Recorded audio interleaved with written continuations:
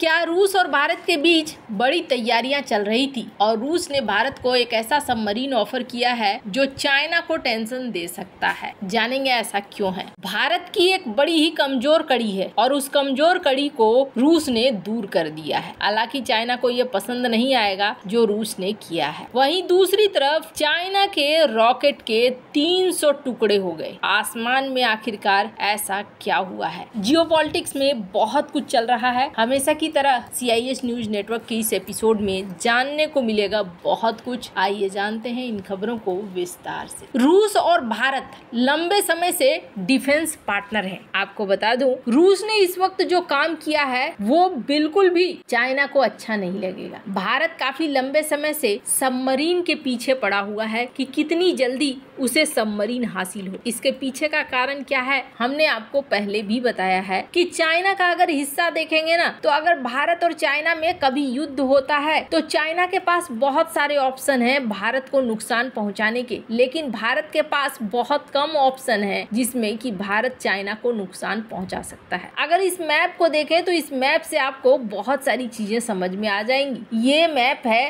भारत और चाइना का। अब जरा इस मैप को ध्यान से देखिए। भारत से लगता हुआ हिस्सा ये हिस्सा है और ये हिस्सा यहाँ पर ऐसा है कि मात्र छह प्रतिशत आबादी रहती रहती है चाइना की। यहाँ पर न तो कोई खास इंडस्ट्री है, न उद्योग है, न ही कुछ ऐसा है जिसको बर्बाद करने से भारत को बहुत ज़्यादा फ़ायदा हो जाए। भारत यहाँ से मिसाइलें दाग भी देगा, बॉम्बर से बम बरसा भी देगा तो भी बहुत ज़्यादा भारत को फ़ायदा नहीं होगा। चाइना को बहुत ज़्यादा नुकसान नहीं पहुँचा पाएगा भारत। लेकिन अगर चाइना चाहे तो इसी इलाके का इस्तेमाल करके भारत के ऊपर बड़ा नुकसान पहुँचा सकता है, क्योंकि भारत की सघन आबादी यहाँ पे रहती है और इस इलाके से अगर भारत पर हमला करता है तो भारत को काफ़ी सारा नुकसान होगा। भारत के लिए एक रणनीति बहुत ज़रूरी थी कि भारत काट ढूंढे, और अगर चाइना को नुकसान पहुंचाना है तो फिर रणनीति के हिसाब से भारत को चाहिए कि भारत चुपके चुपके पानी के अंदर चाइना के इस हिस्से तक पहुँच जाए। और यहाँ से मिसाइलें बरसनी शुरू हो, क्योंकि ये जो इलाका है, यही वो इलाका है जहाँ चौरानवे प्रतिशत आबादी के साथ साथ चाइना का सारा धन सा, सारा धन और सारे उद्योग छिपे हुए हैं। इस इलाके पे हमला करना ज़रूरी है। इस इलाके पर हमला करने के लिए क्या चाहिए? इस इलाके पर हमला करने के लिए चाहिए सबमरीन्स जो सबमरीन्स यहाँ तक पहुँचे और उस पर लगे हुए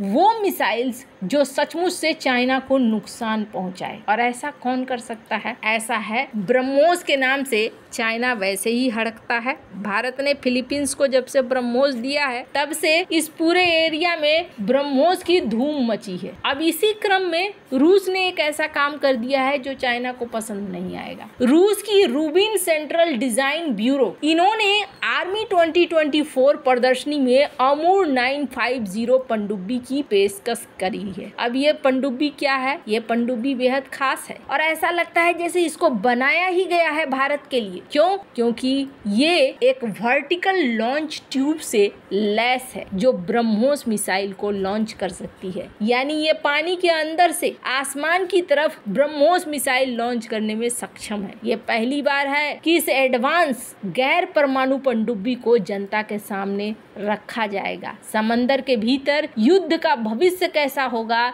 ये एक झलक है। पनडुब्बी की ब्रह्मोस को वर्टिकल तरीके से लॉन्च करने की क्षमता भारतीय नौसेना के लिए बेहद महत्वपूर्ण है। भारत का भी अपना एक प्रोजेक्ट है, प्रोजेक्ट 75 आई, जिसके तहत भारत को भारत को रूस ने अमूर 1650 पनडुब्बी पेशकश करी थी, लेकिन अमूर 950 एक एडवांस है। पानी में काफ़ी लंबे समय तक छिपा रह सकता है, और इस पनडुब्बी के पास एडवांस स्टिल्थ क्षमताएँ भी हैं। यानी जब ये पानी के नीचे चलती हैं तो इसमें बेहद कम आवाज़ आती है। जिससे दुश्मन को इसका पता नहीं चलता है। ये पनडुब्बी एआईपी टेक्नोलॉजी से लैस है। भारतीय नौसेना इस वक्त सात किलो क्लास की पनडुब्बी का संचालन करती है, जिसे सिंधु घोष के नाम से जाना जाता है। पर अब भारत को ये रूस ने ऑफ़र किया है कि भारत चाहे तो इसे खरीद सकता है। अमूर 950 सतह पर आने पर 950 टन और पानी में डूबने पर 1300 टन का वज़न विस्थापित करता है। ये पनडुब्बी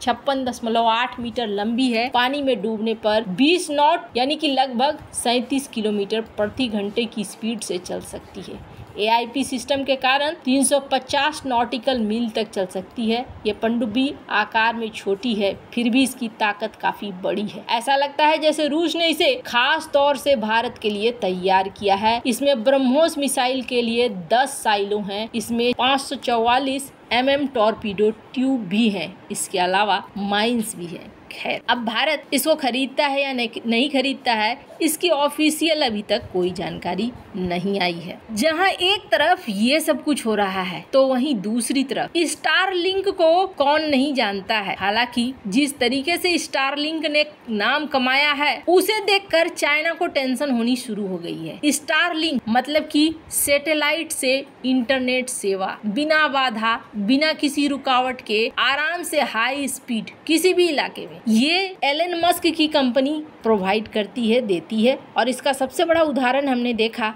जब रूस यूक्रेन युद्ध शुरू हुआ, उस समय कम्युनिकेशन लाइन कट गई थी। तब एलन मस्क ने स्टार के छोटे छोटे डिवाइसेस दे दिए और उन डिवाइसेस के ज़रिए इंटरनेट से यूक्रेन के लोग जुड़ पाए। चाइना ने इस चीज़ को बहुत अच्छे से समझा। हालाँकि चाइना ने ये कहा कि हमारे पास एक ऐसा लेजर विपन है, जिस विपन से हम स्टार की सेटेलाइट्स को तबाह कर सकते हैं। पर चाइना के मन में कहीं ना कहीं था कि काश हमारे पास भी कुछ ऐसा हो, हम भी कुछ ऐसा बनाएँ। और इसके लिए चाइना काफ़ी लंबे समय से तैयारी कर रहा था और इस बीच उसने अपनी तैयारी का एक चरण पूरा किया। और इसके तहत चीन ने अपना एक रॉकेट स्पेस में भेजा है, लेकिन आपको बता दूँ, फ़िलहाल उसके 300 टुकड़े हो गए हैं और ये अब एक स्पेस जंक बन चुका है। स्क्रीन पर एक तस्वीर देख रहे हैं आप, जिस तस्वीर में दिखाया जा रहा है कि किस किस तरीके से 300 टुकड़े टूटकर अंतरिक्ष में बिखर गए हैं। चाइना का लॉन्ग सिक्स ए रॉकेट टूटकर बिखर गया है और अब पृथ्वी की लो ऑर्बिट में 300 से अधिक टुकड़े में घूम रहा है। जिस तरीके से